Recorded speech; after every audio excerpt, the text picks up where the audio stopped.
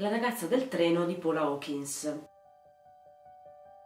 Questo è un romanzo che divide in due eh, i lettori. C'è chi lo ha amato tantissimo e c'è chi lo ha odiato tantissimo, non si è saputo proprio spiegare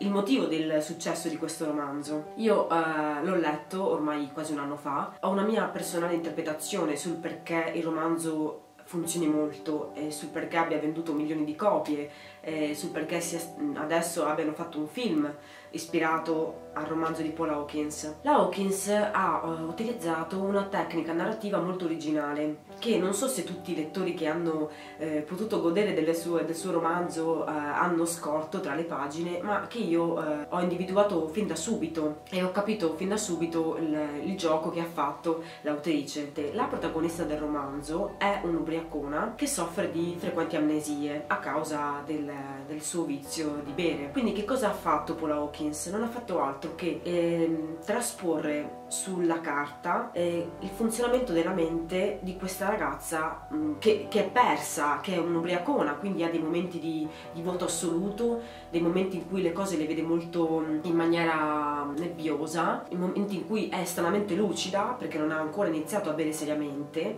quindi lei ha giocato tutto il romanzo su queste sensazioni di questa ragazza eh, diversa dal solito, cioè una ragazza, una protagonista comunque imperfetta, una, una protagonista alcolizzata. Come si fa a rendere sulla carta il pensiero di una protagonista alcolizzata, intrecciando la storia in un continuo alternarsi di flashback, ricordi spezzati, eh, un pezzetto di memoria che si riattiva, un'immagine sfocata di quello che la protagonista ha visto o forse non ha visto, che forse è solo nella sua testa, mescolati poi a delle azioni normalissime, quotidiane, cioè come quella di svegliarsi la mattina, prendere un treno per andare a lavorare. La genialità dell'autrice sta in questo, in que ha, preso questa decisione in maniera molto ponderata secondo me e non ha fatto altro che eh, cercare in tutti i modi di trasporre sulla carta eh, la mente eh, poco razionale di una ragazza con un vizio. Cosa ha fatto secondo me Paula Hawkins? Lei non ha fatto altro che scegliere eh, la sua protagonista, quindi è partita dal personaggio, probabilmente ce l'aveva nella mente già questo personaggio, l'ha costruito, l'ha pensato, ha creato una protagonista imperfetta che ha un conflitto grosso che è il vizio del bere e grazie a questo conflitto lei ha pensato poi tutta la storia e tutto l'intreccio del romanzo, piccicando al vizio del bere ogni singola azione del romanzo,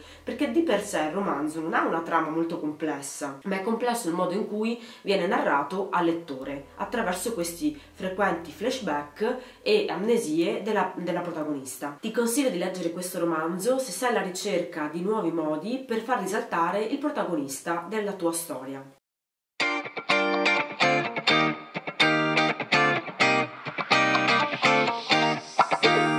There's not a single day that passes